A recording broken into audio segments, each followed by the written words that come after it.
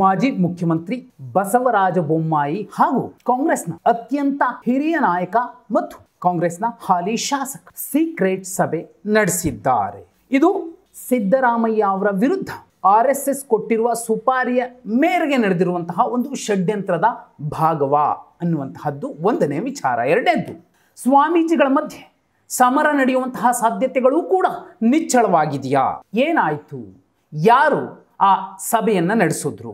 ದಾವಣಗೆರೆಯಲ್ಲಿ, ಖಾಸಗಿ ಹೋಟೆಲ್ನಲ್ಲಿ ಸತತ ಇಪ್ಪತ್ತೈದು ನಿಮಿಷಗಳ ಕಾಲ ಒಂದು ಸೀಕ್ರೆಟ್ ಸಭೆ ನಡೆದಿದೆ.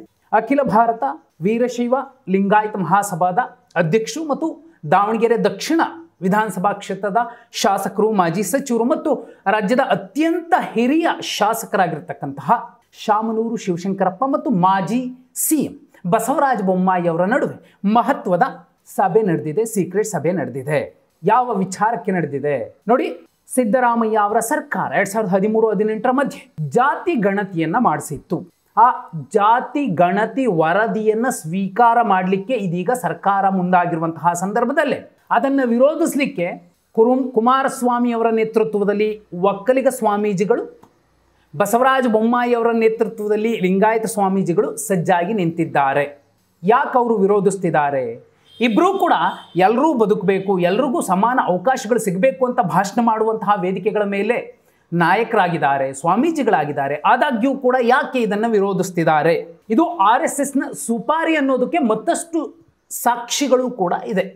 ಕಣ ಇಷ್ಟೇ, ಏನು ಸೋರಿಕೆಯಾದ ಜಾತಿ ಗಣತಿಯ ಪ್ರಕಾರ ರಾಜ್ಯದಲ್ಲಿ ಮೊಟ್ಟ ಮೊದಲ ಸ್ಥಾನದಲ್ಲಿರುವುದು ಮತ್ತು ಅತಿ ಹೆಚ್ಚು ಜನಸಂಖ್ಯೆ ಇರುವಂಥದ್ದು ಪರಿಶಿಷ್ಟ ಜಾತಿ, ದಲಿತ ಸಮುದಾಯ ಒಂದು ಪಾಯಿಂಟ್ ಸೊನ್ನೆ ಎಂಟು ಕೋಟಿ ಜನ ಅವರಿದ್ದಾರೆ.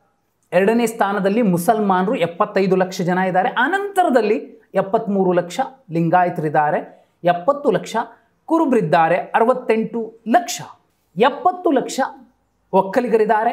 ಅರವತ್ತ ಎಂಟು ಲಕ್ಷ ಕುರುಬ್ರಿದ್ದಾರೆ ಎನ್ನುವಂತಹ ಒಂದು ಸೋರಿಕೆಯಾದಂತಹ ಗಣತಿಯ ಲೆಕ್ಕಾಚಾರಗಳು ಹೇಳ್ತಿವೆ. ಒಂದು ವೇಳೆ ಈ ಜಾತಿಗಣತಿ ವರದಿ ಸ್ವೀಕೃತವಾದರೆ ಇದುವರೆಗೂ ಯಾರೆಲ್ಲ ಮೇಲ್ಜಾತಿಯ ನಾಯಕರು, ಮೇಲ್ಜಾತಿಗಳು ಅಧಿಕಾರವನ್ನು ಸುಲಭವಾಗಿ ದಕ್ಕಿಸಿಕೊಳ್ತಿದ್ವು ಅವುಗಳಿಗೆ ಇನ್ನು ಮುಂದೆ ಅಧಿಕಾರದ ಚುಕ್ಕಾಣಿ ಹಿಡಿಯೋದು ಸುಲಭವಾಗೋದಿಲ್ಲ, ಕಷ್ಟವಾಗುತ್ತೆ. ಯಾಕಂದರೆ ನಾವು ಹೆಚ್ಚಿಗಿದ್ದೀವಿ, ನಮಗೆ ಹೆಚ್ಚಿನ ಟಿಕೆಟ್ ಕೊಡಿ ಅಂತ ಕೇಳುವಂತಹ ಒಂದು ಧ್ವನಿ ಎದ್ದೇಳುತ್ತೆ.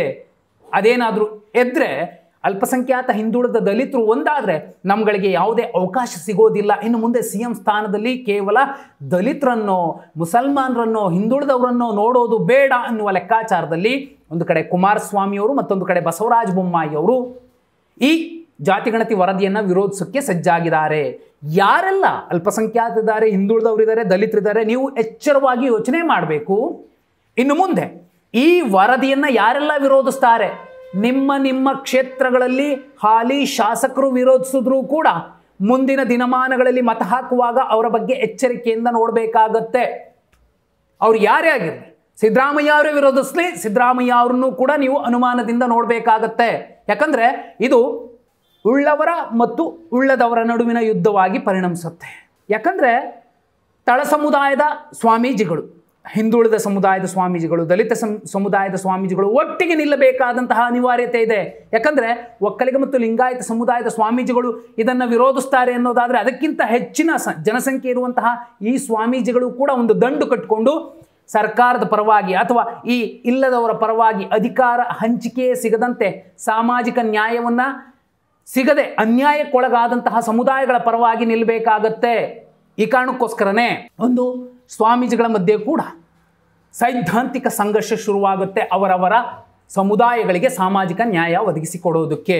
ಅಲ್ಲಿಗೆ ಸುಲಭ ಒಂದು ಊರಲ್ಲಿ ನೂರು ಜನ ಇದ್ದಾರೆ ಅಂದರೆ ಇಪ್ಪತ್ತು ಜನ ಇರೋರಿಗೆ ಸದಾ ಒಂದೇ ಕುರ್ಚಿ ಊರಲ್ಲಿರೋದು, ಅದನ್ನು ಇಪ್ಪತ್ತು ಜನಕ್ಕೆ ಕೊಡೋದು, ಇನ್ನು ಎಂಬತ್ತು ಜನ ಕುರ್ಚಿಯನ್ನು ಒರ್ಸೋಕ್ಕೆ, ಕುರ್ಚಿಯನ್ನು ತೊಳೆಯೋಕ್ಕೆ, ಕುರ್ಚಿಯನ್ನು ಎತ್ತಿಡೋಕ್ಕೆ, ಕುರ್ಚಿಯನ್ನು ಬಿಸಿಲು, ಮಳೆ ಬರದಂತೆ ನೋಡ್ಕೊಳ್ಳೋದಕ್ಕೆ ಮಾತ್ರ ಕೆಲಸಕ್ಕೆ ಲಾಯಕ್ಕ ಅನ್ನುವಂತಹ ಉದಾಹರಣೆ ನಿಮ್ಗೆ ಅರ್ಥ ಆದರೆ ಯಾಕೆ ಈ ಜಾತಿ ಗಣತಿ ವರದಿ ಸ್ವೀಕೃತವಾಗಬೇಕು, ಸ್ವೀಕೃತವಾಗುವಾಗ ಯಾರೆಲ್ಲ ವಿರೋಧಿಸ್ತಾರೆ ಅಂಥವ್ರನ್ನ ಮುಂದಿನ ಚುನಾವಣೆಯಲ್ಲಿ ಏನು ಮಾಡಬೇಕು ಅನ್ನೋದನ್ನು ನೀವು ಅರ್ಥ ಮಾಡಿಕೊಳ್ಳಬೇಕು.